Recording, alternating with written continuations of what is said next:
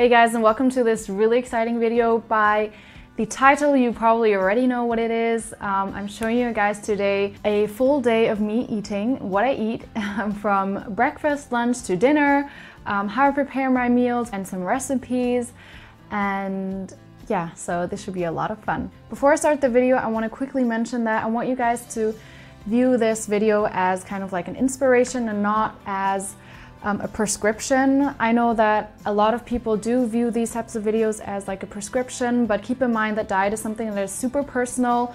Everyone is different, everyone has different needs, um, and everyone has a different build. Everyone has a diff different level of active activeness. So I really want to encourage you guys to view this more as an inspiration. Also, um, I want to quickly kind of tell you guys about my diet. Um, diet as in um, what I eat. I like to eat mostly plant-based about 90% of the time. Um, and today, or the day I'm gonna show you guys, is also one of those plant-based days. So all of those meals will be vegan, plant-based. Um, yeah, so there's nothing more I have to add. Um, let's start with the day. Good morning guys, so um, I just woke up and it's time for breakfast. Um, I do the same breakfast every single morning, so what I have is I make myself a porridge. For some reason my breakfast has to be the same every day, whereas lunch and dinner I can't really have the same every day. It has to be different every day and every week. Um, so for my porridge it's super easy, I don't cook my porridge. Um, what I do is obviously we I have some oats. Um, these are steel, soft steel cut oats. Um, then, then I add some um, nuts and um, nuts and berries and also some seeds. I have sunflower seeds and pumpkin seeds and and then I also add um, some chia seeds and some lentil, no, and some flax seeds. And lastly, I add a banana and some cinnamon. Also, as I said, I don't really cook my porridge. All I do is I add some water and um, the soft oats will, will turn the water into kind of like a diluted oat milk. So yeah, let's get started.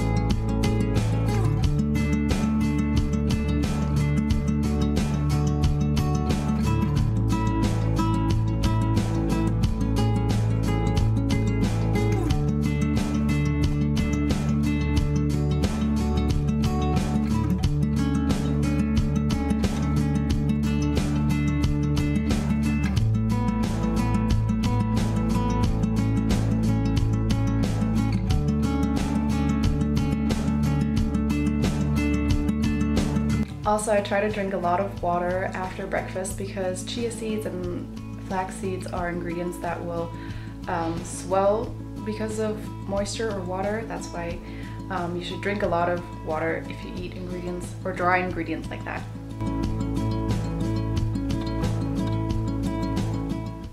So guys, it's now lunchtime. Uh, I've been working all morning, so I'm really excited for lunch. It's kind of like a breather or break for me. Um, so for lunch, I'm going to make uh, some bowls. Um, hold on, I'm going to show you guys which one I'm making. So for lunch, I'm going to make us some bowls. This is the um, a picture that I posted on Instagram like a while ago. And so I'm just gonna recreate this as kind of like a Mexican inspired bowl. I love bowls because they are, I think, a perfect balance between like um, proteins and veggies and um, carbs. Well, it depends what you put in it, but um, you can make it a really nice balance.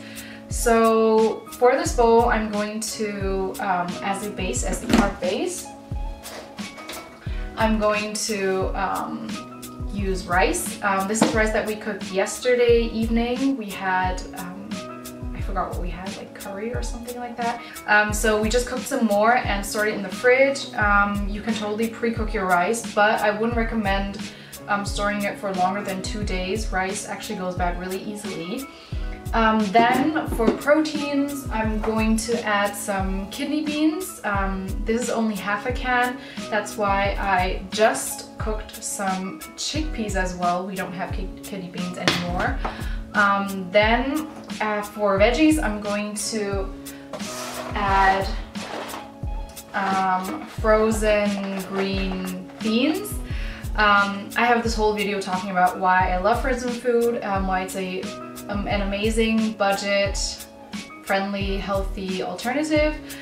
Yeah, I like to add some dark green veggies. Then also as additional veggies, because I like myself some veggies or some extra veggies.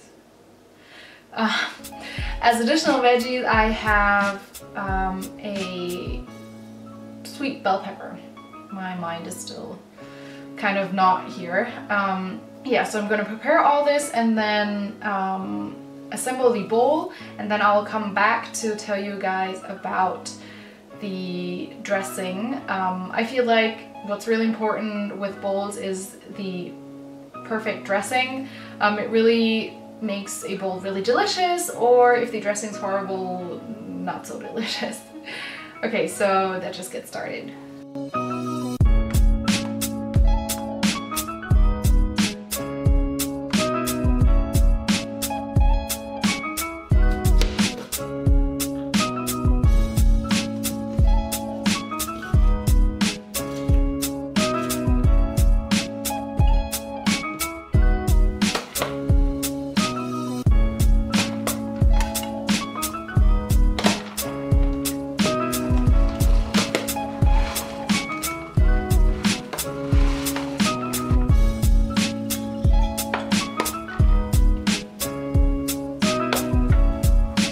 So you guys can see here are my finished bowls.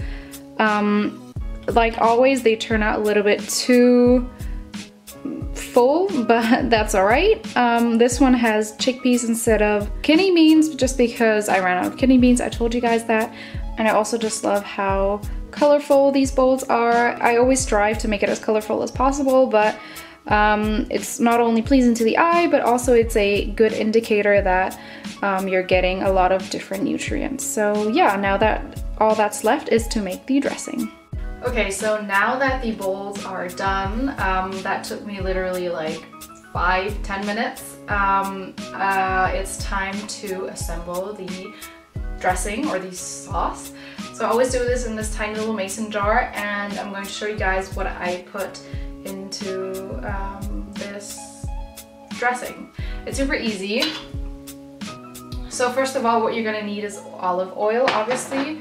I'm going to try to eyeball this now um, because I want to show you guys. So you need olive oil, obviously. Um, the amount I'm making is for two bowls. Then I'm adding some salt. Really don't think I should be showing you guys like this. This is so dangerous. Okay, then we're going to add some lemon juice. I have a tiny bit left, but this should be enough.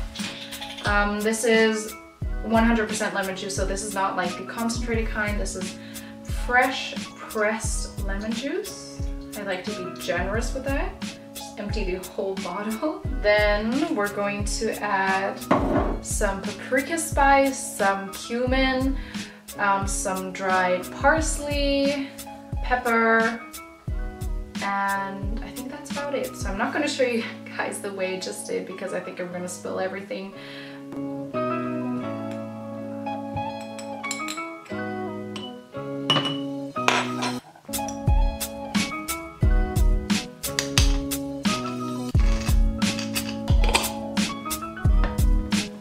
So what you do next is you obviously close the lid and you just shake it.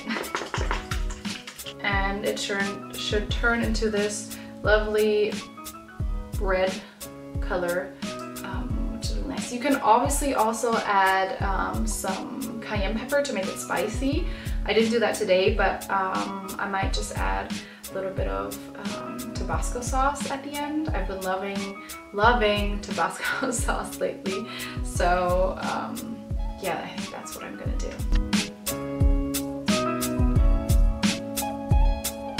Okay, so that's the finished bowl. I love how easy it is to make and how delicious it is. Um, so if you guys need some lunch inspiration, you can totally make this bowl yourself at home. Just add any ingredients you want and it's done in 10 minutes or so. mm. Okay, so it's time for dinner now. Um, I've been working on my bachelor thesis this afternoon and then um, after I finished the amount of pages I wanted to do today, we went to the river and um, just to get some fresh air and stretch our legs. So now it's time for dinner. Um, for dinner, I'm going to make my boyfriend's favorite dish. it's um, this eggplant curry. I actually also have the recipe on my blog, so I'll leave it in the description box so if you guys are interested. Mainly it's just it consists of eggplant and tomatoes. That's basically the main not not it but the main ingredients. I also like to sometimes add some peas for some extra protein or sometimes some spinach for extra um, veggies uh, so you, it's totally up to you um, today I'm going to add some peas I think on my blog on the recipe on my blog I also added some peas um, so yeah, my the rice is already cooking in my rice cooker and um, yes, I'm gonna get started on the curry and this is actually a really simple, really easy dish so I really encourage you guys to try it out yourself as well. So yeah.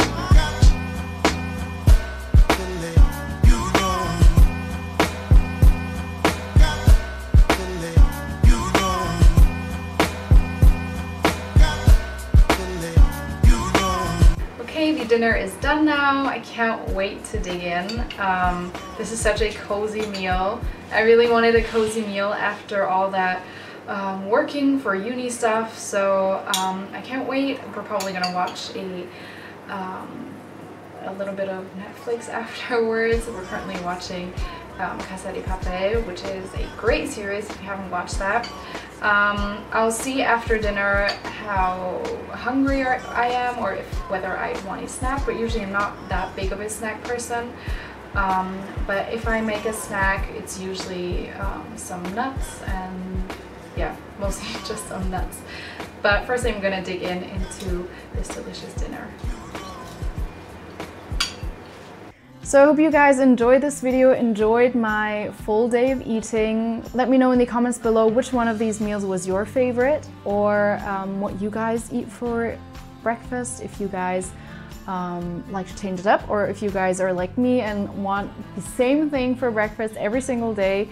Um, also, if you guys are interested in the recipes, I'll link them down below here. And yeah, I'll see you guys in my next video.